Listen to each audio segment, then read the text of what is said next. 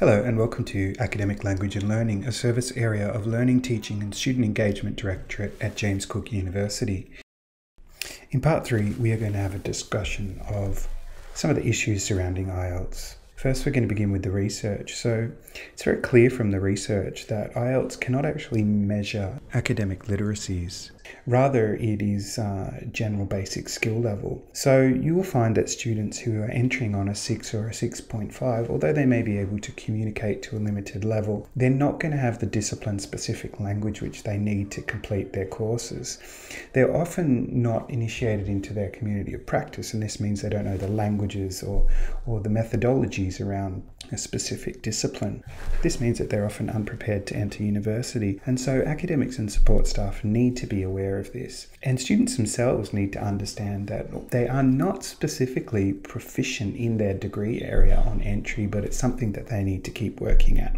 This is a problem because often students think, well, I'm in the course, I don't have to worry about my language anymore. Another problem that may arise is that students may have an understanding of general writing and formatting, but they won't have a specific knowledge of what's required in their discipline. So this needs to be made explicit to them uh, by the academics and support staff. A surprising result from research by Birrell was that one third of international students could not achieve a 6.0 IELTS score on exit of a university degree. This is important because it suggests that student language skills are atrophying during higher education study. Another finding was that writing skills of these students may show very little improvement because universities do not focus on teaching writing skills but rather focus on content. The same study also found that the speaking skills of students was completely dependent on the socialization. So they're not using the speaking skills in the classroom, but in the social context outside. So if they're living in a house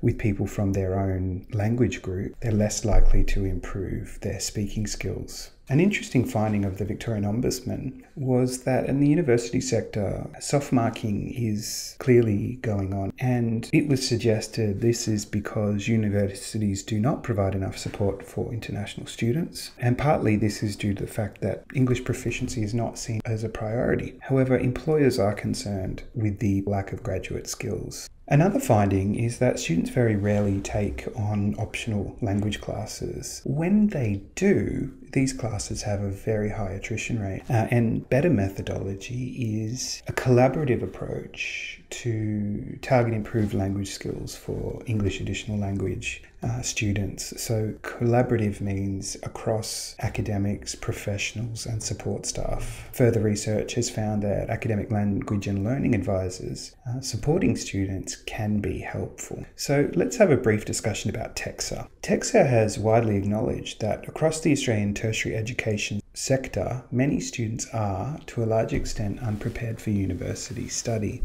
This is evidenced by difficulties in meeting academic requirements such as critical analysis and essay writing, and in communicating effectively in oral and written English. This is not only the case for international students, but also local students of English and non English speaking backgrounds. It's important that we pay attention to this area for our course accreditation. Accreditation Standard 1.2 makes it clear clear that there needs to be development of the graduate attributes. And we know from the research we need to provide for appropriate development of key graduate attributes in students, uh, including English language proficiency. And we know from the research that we've just discussed that this is not occurring Australia wide. A standard 3.2 is that the higher education provider ensures that students are sufficiently competent in the English language. In theory, this is done through the IELTS entry test, although we can see from the level of output to achieve a 6 that this may be problematic for some courses.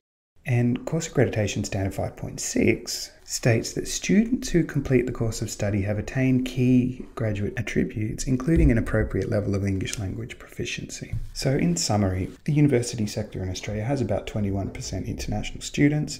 IELTS operates as the gatekeeper, but we need to remember that an entry score for IELTS does not mean a student is proficient in language or in subject specific discourses. And this means that we need to have language supports integrated into our courses, not just to support these students, but to meet the TEQSA accreditation requirements. If you would like some further information, you can go to our website. There's some teaching strategies for academics to use in supporting EAL students. If you have any specific questions, feel free to send us an email at the Learning Centre.